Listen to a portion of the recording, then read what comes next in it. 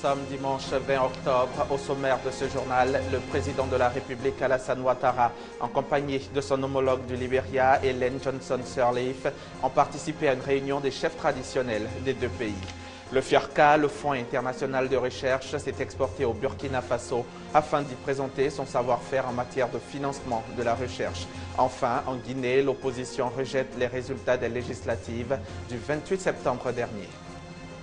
Mesdames et messieurs, bonjour et bienvenue dans ce journal. Hier, samedi, s'est tenue une rencontre quadripartite Côte d'Ivoire, Libéria, Onussi, Minul, Azedrou, chef-lieu de la région de Grand Guédé au Libéria. La réunion du Conseil des anciens et chefs traditionnels des communautés frontalières Libéria-Côte d'Ivoire. Cette rencontre a également réuni, vu la participation des chefs d'État de Côte d'Ivoire, Alassane Ouattara, du Libéria, Hélène Johnson Sirleaf, des responsables de la mission des Nations Nations Unies au Libéria et de l'opération des Nations Unies en Côte d'Ivoire. Le Libéria, ce pays voisin, abrite encore de nombreux réfugiés ivoiriens de la crise post-électorale 2010-2011, estimée à plus de 50 000 personnes que le président Alassane Ouattara exhorte au retour en Côte d'Ivoire. Du 2 au 5 octobre dernier s'est tenu à Ouagadougou un atelier d'information et de partage d'expériences. Une rencontre organisée par le Fonds national de la recherche et de l'innovation pour le développement du Burkina et qui a vu la participation du FIRCA, le Fonds international pour la recherche et le Conseil agricole de la Côte d'Ivoire. Objectif, présenter le savoir-faire de la Côte d'Ivoire en matière de financement de la recherche pour un partenariat public-privé efficace.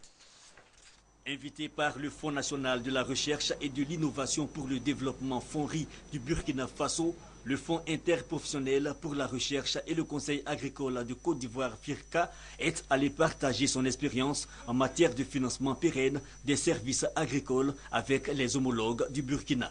Le FONRI entend regrouper les acteurs du développement, les chercheurs, les innovateurs et les décideurs politiques autour de l'expérience ivoirienne. On a découvert sous tous les angles euh, toute l'expérience du FIRCA. Le directeur exécutif euh, a fait savoir, a fait émerger des idées nouvelles, notamment une collaboration euh, sous-régionale pour permettre d'attaquer au niveau de certaines institutions comme l'UMOA, l'Union africaine, même l'Union, même la CDAO.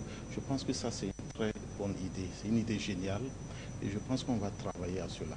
Le docteur Anima Akapier, directeur exécutif du FIRCA, conduit la délégation ivoirienne. Il dit être heureux d'apporter et de partager le savoir-faire du FIRCA.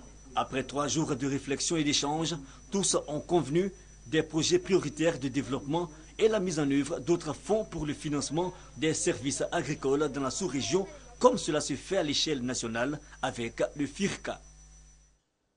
Un reportage de Coné par Gassoro commenté par Franck Quadio. On reste dans le domaine de l'agriculture avec l'agence de coopération japonaise qui veut former 1000 riziculteurs des régions du Gbeke, du Bélier et du district de Yamoussoukro. Coût du projet 3 milliards de francs CFA. Noël Niagno pour les détails.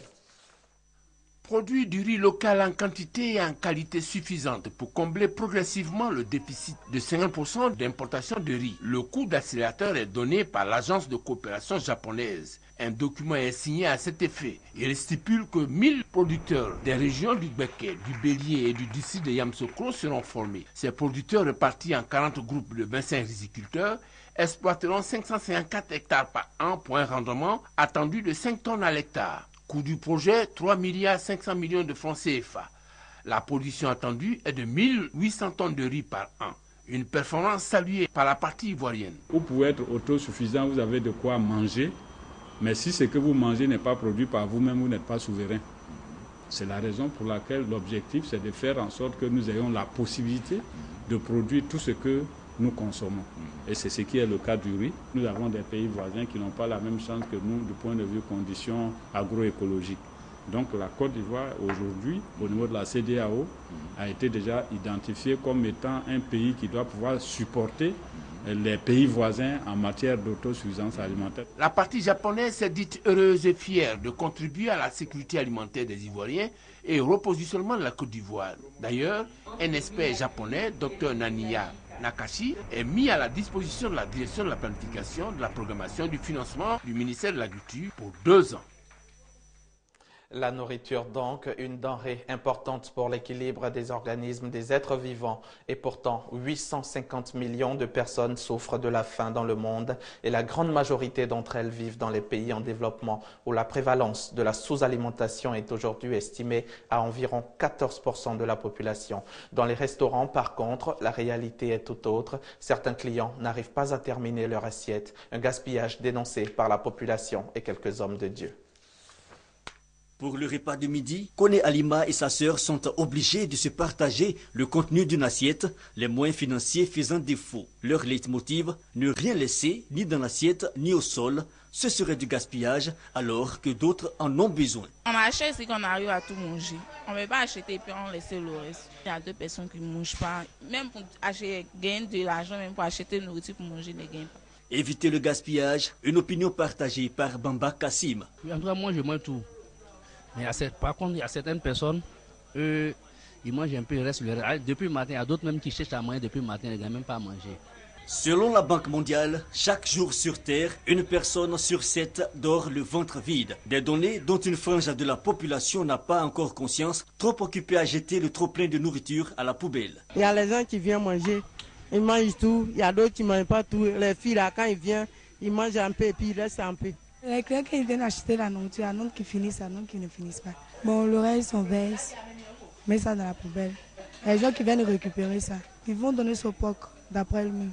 Pour les religieux, le gaspillage de la nourriture est une pratique interdite. Ils invitent alors au partage et à une consommation juste et équilibrée. Dieu nous indique que vis-à-vis de la nourriture, notre rapport doit respecter non seulement le bien commun, mais respecter ce que nous pouvons consommer. Notre crainte de Dieu doit se manifester dans ce respect de la nourriture en l'occurrence.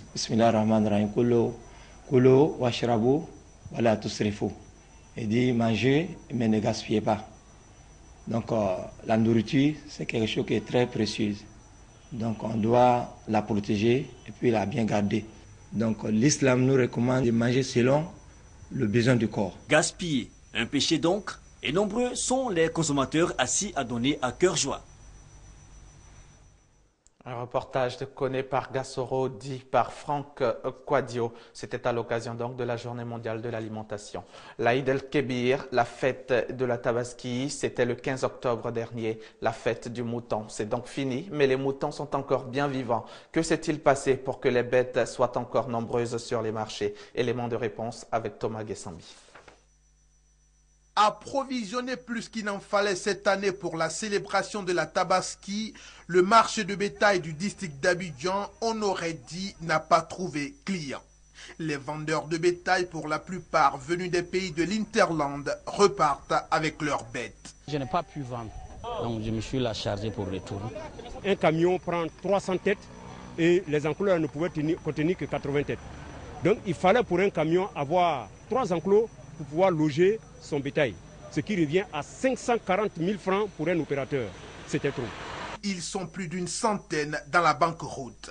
Leur recours avant l'ultime décision qui serait de tourner dos au marché ivoirien, les organisations professionnelles proches de l'activité. Cette année, les gens n'ont pas pu acheter des moutons puisque les prix étaient élevés. Et ces commerçants du bétail viennent de nous donner les détails de tout ce qu'ils ont enduré au niveau de l'abattoir de Port-Boué. À l'arrivée seulement, on leur a demandé de payer 180 000 francs pour la location de l'enclos. Cela relève du racket, il faut le dire, parce que ça ne rentre pas dans les caisses de l'État. On voit un reçu euh, d'une société qu'on ne connaît, ni d'Adam ni d'Ève, qui vient prendre 180 000 francs à chaque commerçant vendeur de bétail.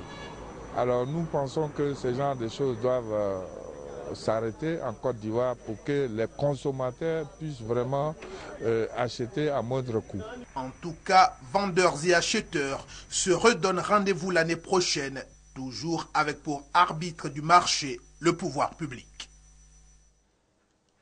Le lancement de l'Ebony 2013, la soirée consacrée à la distinction des meilleurs journalistes de Côte d'Ivoire, a eu lieu le vendredi dernier, 18 octobre, à la Maison de la Presse. Créée le 22 juillet 1993, la Nuit de la Communication, communément appelée donc Soirée des Ebony, prépare sa 15e édition qui se tiendra le 28 décembre prochain. Les invités cette année seront Louis Dreyfus, le directeur général du journal Le Monde, et Jim Boumela, le président de la Fédération internationale des journalistes. Je vous propose d'écouter le président de l'Union nationale des journalistes de Côte d'Ivoire. Cette année, nous allons recevoir le directeur général du journal Le Monde, M. Louis Dreyfus, qui a accepté de venir à Abidjan. Également, nous recevrons comme invité spécial le président de la Fédération internationale des journalistes, c'est M. Jim Boumela. Donc nous l'attendrons également à Abidjan. Et au niveau des autres innovations, nous avons de nouveaux prix sectoriels comme le prix du meilleur journaliste culturel qui est offert par le ministre de la Culture et de la Francophonie, M. Banama Maurice. En bref, les dénonciateurs, victimes et témoins de la corruption bénéficieront désormais en Côte d'Ivoire d'une protection spéciale. C'est ce qu'a annoncé le secrétariat national à la gouvernance et au renforcement des capacités. Le secrétariat qui estime que la Côte d'Ivoire connaît un sursaut qualitatif vers la bonne gouvernance. Au Cameroun se tient en ce moment une exposition photo qui vise à mettre en évidence la beauté des albinos, de quoi redonner confiance à tous ceux qui se cachent parce qu'atteints par l'albinisme. Changer le regard sur l'albinisme, c'est la mission que s'est fixée Adrienne Tanqueux. Avec son association Anida, elle a mis en place une exposition photo itinérante pour démystifier la maladie et sensibiliser la population. Au Cameroun, son pays d'origine, elle a tenu à être présente pour expliquer sa démarche. Je relève plus euh, des albinos en leur donnant aussi une beauté et une dignité parce que je ne veux pas montrer encore que la maladie, le cancer et tout. Donc euh, mon exposition exprime vraiment ça, qu'on peut être aussi albinos et qu'on peut véhiculer la beauté, le glamour. Les photos ont été réalisées à Paris par une photographe belge, Véronique Simonet. Sur ces clichés, des albinos mis en beauté, des mannequins, mais aussi des anonymes. De quoi faire la fierté des albinos présents qui voient dans cette exposition une aide à l'acceptation de soi.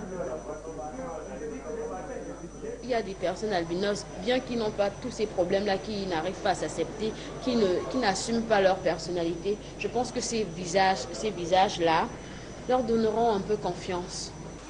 L'exposition va se déplacer dans de nombreux pays africains, là où les albinos sont encore victimes d'agressions physiques, de mutilations ou de meurtres.